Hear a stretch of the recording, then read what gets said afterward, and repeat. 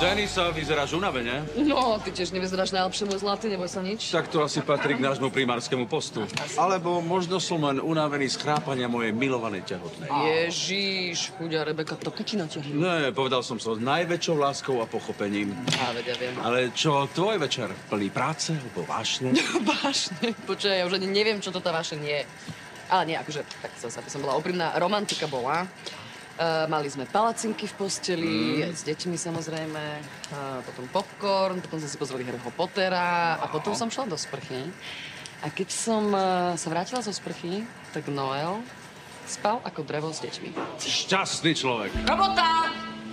Muž 26 rokov, našli ho v podchode, zrejme spadol zo schodov. Je bezvedomý, ale vitálne stabilizovaný. Podozrenie na vnútorné zranenia a zranenie chrbtice. Dobre, celotelové CT, krv a pre istotu nachystáte operačku. Vlk, beriete si ho. Samozrejme. Počuli ste primára, berte ho na CT. CTčko. Áno. Zatiaľ už tam išiel.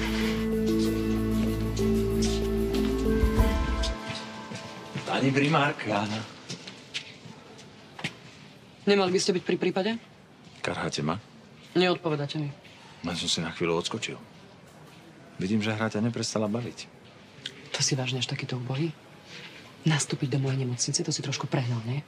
Robí mi dobre, keď sa so mnou bavíš otvorene. Áno? Tak ti otvorene hovorím, choď odtiaľto do riti. Vôbec si sem nemal nastupovať. Prečo? No, lebo, lebo som povedala. Lebo sa bojíš, že by mohlo medzi nami niečo vzplanúť? Aká bola včera nuda doma? Ježiš, hrozná. Teda, čo? Aká, to, to, čo si dovoluješ, žiadna nuda, aby si vedela. Vôbec choď s týmto do čo si to dovoluješ. Ja myslím ako partner, deti a tak. Ja veľmi dobre viem, čo ty myslíš a aby si vedel, nemenila by som to za nič na svete. Klameš.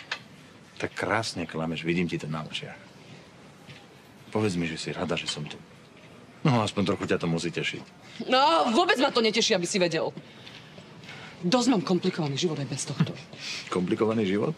To znie, ako by si ma chcela. Wiesz co, hej, strasznie cię chcę. Aha.